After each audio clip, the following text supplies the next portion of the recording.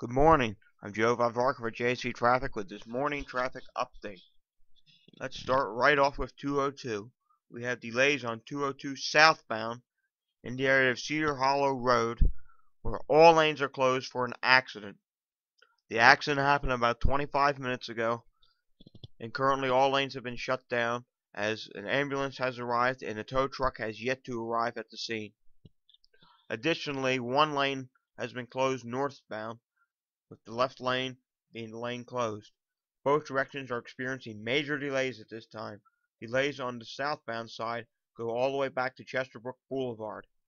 This is currently a 3 mile, 15 to 20 minute delay and growing. It is starting to approach 25 to 25 minutes. On the northbound side there is currently a 2 mile, 10 to 15 minute delay as well. That goes back to near Church Road. You're traveling on the Schuylkill Expressway this morning, we do have delays inbound at the area of I-476 through Gladwyne. This is a 5 mile delay. And then we have significant delays outbound in the area of the Roosevelt Expressway continuing on through to I-476 North. This is currently a 10 mile delay, but delay time is only 10 to 15 minutes through this area. If you're traveling further on inbound I-76, we do have delays approaching Montgomery that continue through to I-676. This is currently a 4 mile delay, only 5 minutes additional time through this area. If you're traveling on I-95 south this morning, we do have delays approaching the Betsy Ross Bridge that continue through to I-676. This is currently a 5 mile delay. Your average trip time through this area is 10 to 15 minutes. We have other things going on this morning as well downtown. We do have some minor delays on I-676 East from just east of I-95 over through to Broad Street. This is about a 2 to 3 minute delay. We also have an accident in Harrisburg right now on I-83 in the area of Union Deposit Road. One lane is blocked at this time. Okay, the accident is now clear in this area. All lanes are now open. However, an area of congestion remains. Here is your congestion back at exit 45. the delay goes back to exit 44A.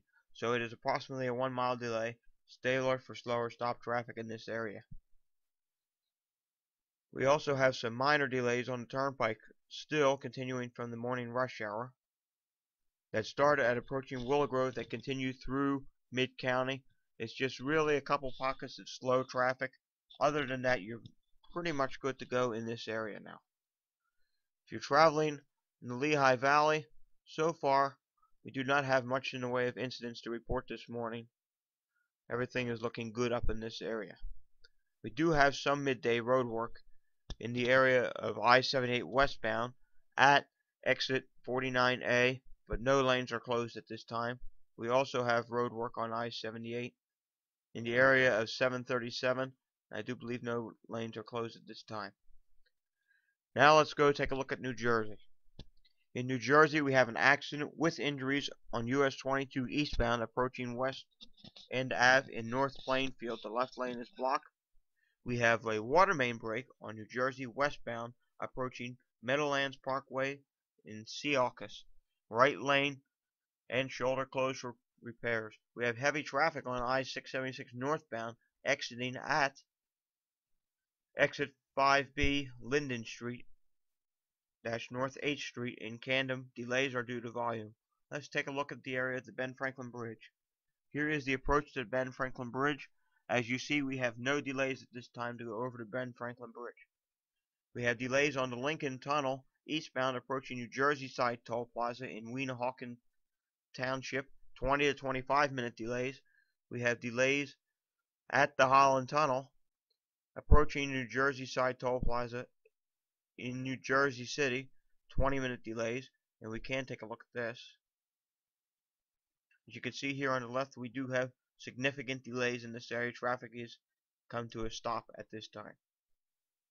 If you're traveling on the George Washington Bridge, we do have 20 to 25 minute delays this morning due to volume.